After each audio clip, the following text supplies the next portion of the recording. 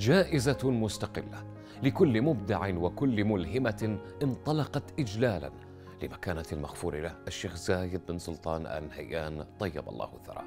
أسست لتكريم صناع الثقافة والمفكرين والمبدعين والناشرين والشباب على مساهماتهم في مجالات التنمية والتأليف والترجمة والعلوم الإنسانية. إبداعات يحتفي بها مركز أبو ظبي للغة العربية ويسلط الضوء على أسماء وأعمال جديدة كل عام على المستويين العربي والعالمي ضمن تسعة فروع الآداب والترجمة والتنمية بناء الدولة والثقافة العربية في اللغات الأخرى وأدب الطفل والناشئة والفنون والدراسات النقدية. المؤلف الشاب وشخصية العام الثقافية وفرع النشر والتقنيات الثقافية.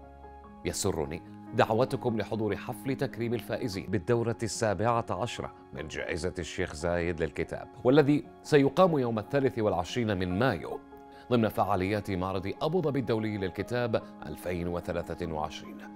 شاركوني في التعليقات اسم شخصية العام الثقافية لدورة السادسة عشرة من جائزة الشيخ زايد للكتاب مرفقة بهاشتاج معرض أبو ظبي الدولي للكتاب 2023 لفرصة الحصول على اشتراك مجاني في تطبيق ستوري تيل